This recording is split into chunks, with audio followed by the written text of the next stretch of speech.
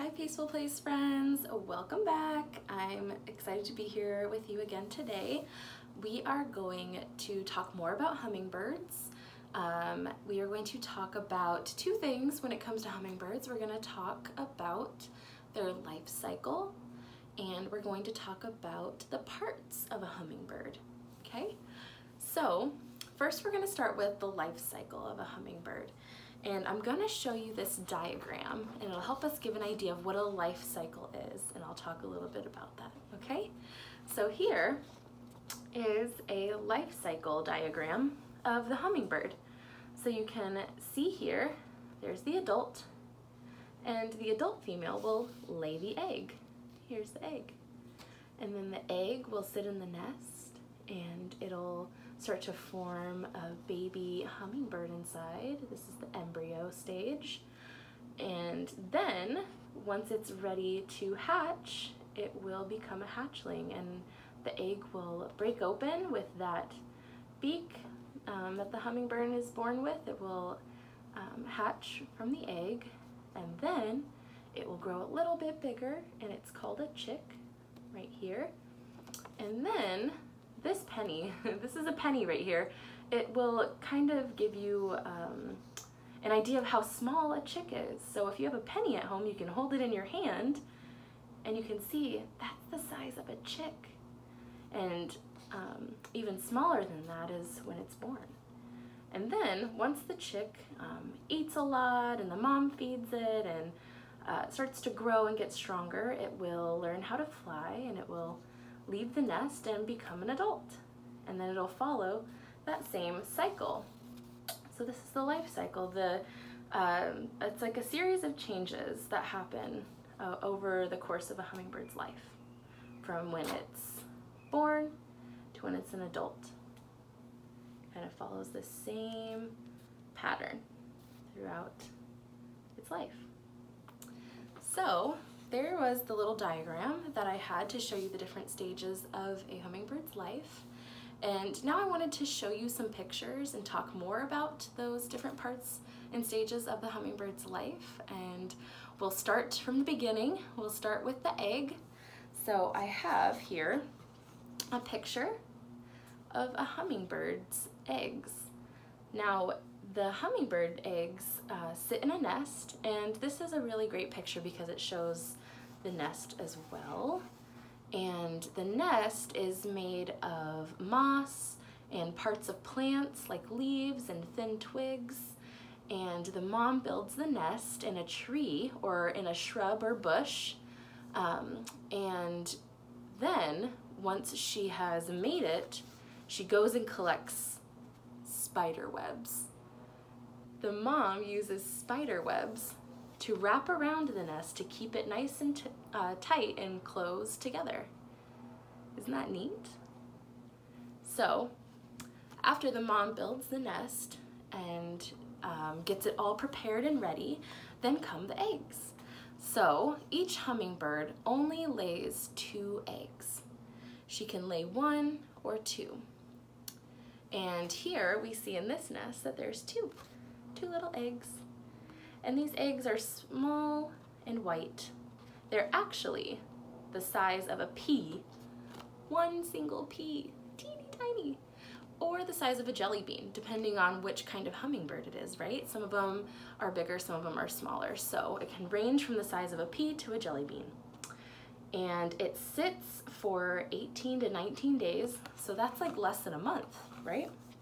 18 to 19 days, the mom will sit on it and keep it warm and that baby chick will grow inside. Bring this back up right here. That's what's happening during those 18 days. The baby um, hummingbird is forming inside the egg. And here's another picture of a hummingbird's nest with two eggs in there. And did you know that the hummingbird eggs are the smallest laid egg in the world? The hummingbird lays the smallest eggs of any bird. Pretty cool, huh? Pretty tiny. All right, so after the egg, do you remember what comes next? The hatchling. I'll bring that diagram back up to show you where we're at now. So now we're gonna talk about this stage, when the baby hummingbird breaks out of the shell and enters the world. So I have some fun pictures to look at of this stage of the hummingbird's life. So here you can see those are the two little hatchlings. Two little hatchlings right there. The mother bird feeds these little babies and she feeds them nectar and insects. And the way that she does that is by putting her bill inside of their mouth and feeding them food.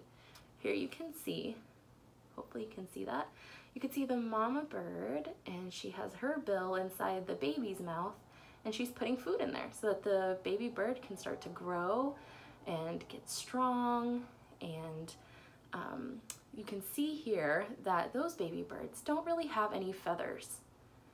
The, it takes about eight days, so a little over a week, for those feathers to start to come in. And the baby bird stays in the nest and gets fed by the mama bird for about three weeks. Um, so again, less than a month, so three weeks uh, is how long the baby bird and, or sorry, the baby hummingbird uh, stays in the nest before it can start to learn to fly and leave the nest. So here I'm going to show you some pictures of the baby hummingbirds getting bigger. Right here, you can see they're not as tiny as before. So there's a couple of chicks. Remember when they're not hatchlings like this, so there's the hatchlings.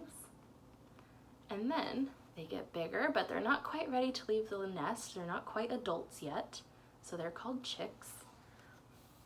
And they are gonna stay in that nest and the mama bird is gonna keep an eye on them, make sure they're nice and safe while they're growing bigger before they're ready to fly. Here's another picture. You can see the two chicks getting bigger, starting to outgrow that nest. It's getting a little too cozy in there, isn't it? They're definitely quite squished together. So I think this is the stage where they're going to start learning how to fly and how to find nectar all by themselves and become adults. Okay, so after they are uh, little chicks and they grow bigger and bigger and start to grow out of the nest, they become adults.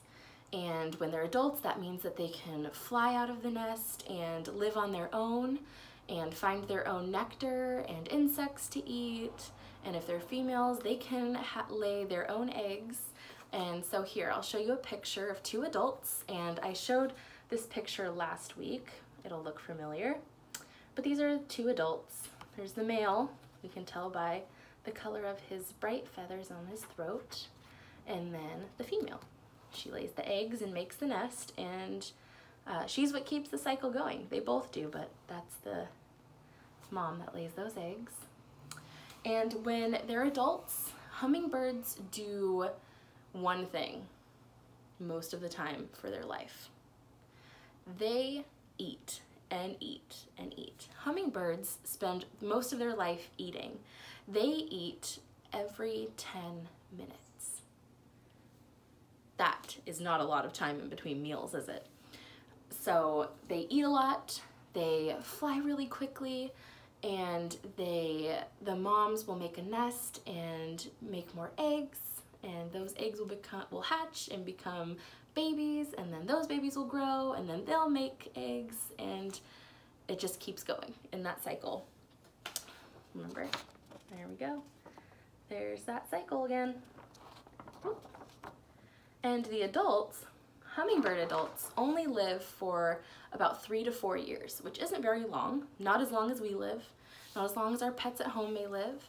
Um, some of you are three or four years old, and that's about how old a hummingbird lives. So not very old, right? Not very, not a very long life, but they live, they're beautiful and they work hard and they're very important to the environment and because remember, they're pollinators, so they help all the other plants around us that give us food and all of that good stuff.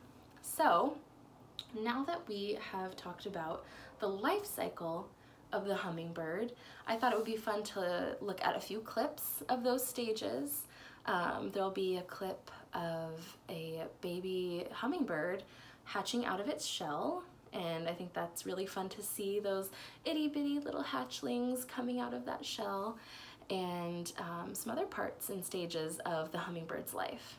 So we will take a look at those clips now and then we'll come back and we will talk about the parts of hummingbirds. What different parts of the hummingbird are there? Okay, so take a look at these clips. I hope you enjoyed them and then we'll come back together. Okay. Here's the clip of a little baby hatchling just coming out of its shell. Look at how tiny and new to the world it is. Now here, they're a few days older, and they're still pretty tiny and don't have very many feathers, but Mama Bird is still feeding them, helping them grow. And now this says 15 days old, and you can see that they're getting bigger and looking more like hummingbirds. They have their feathers, and they're flapping their wings and seem a little more like the hummingbirds we see flying around. Oh my goodness, look at how stuffed in that nest they are. Mama bird is still feeding them and taking care of them and helping them grow, big and strong, but they're still cozy in that nest. Oh my goodness, they look like they're just getting ready to fly. Here they are definitely chicks and nearing their adult stage. And the last stage of becoming an adult hummingbird is learning to fly. And this bird, remember there was two, and now the last one looks like it's getting ready to fly away. All right, welcome back. Those are some awesome clips, weren't they? It is really fun and interesting to see those stages of a hummingbird's life in real time. Um, instead of just looking at a picture, we get to see it in motion. So I hope you enjoyed those. Uh, we're gonna move on into part two of this video, which is talking about the parts of a hummingbird, the different body parts of a hummingbird, what they're called, and what their purpose is. So let's get into that. I drew or made a picture that shows a hummingbird right there. And then along the side here is the names of the different body parts. So I thought that we could talk about these parts and I have my black marker here and I'm going to use it to draw a line from the word to the part and we'll talk about it as we go along.